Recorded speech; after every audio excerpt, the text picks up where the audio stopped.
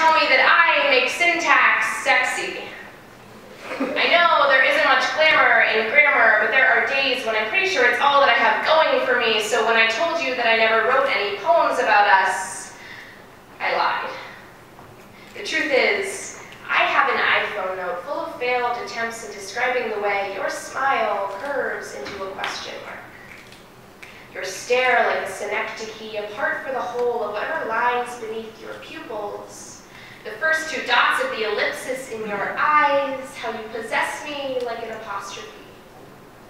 We're only two personal pronouns in a world of irrational rhetoric, but I want to be your, etc. Maybe I'm mixing metaphors, but to paraphrase, you told me once that you don't like poetry.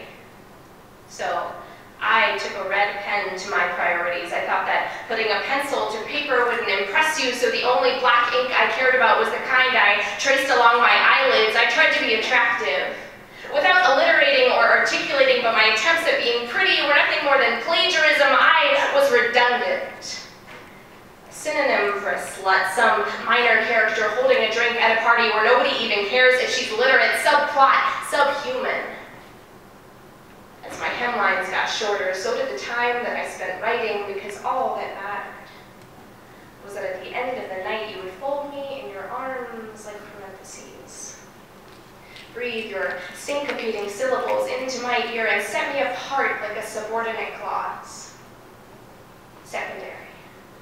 Your promises always subjunctive, maybe if things were different.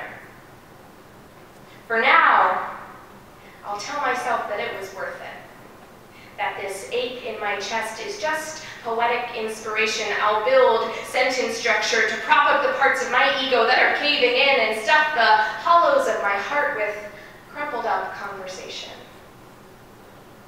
Because I may never learn the value of silence, and to you, words will always just be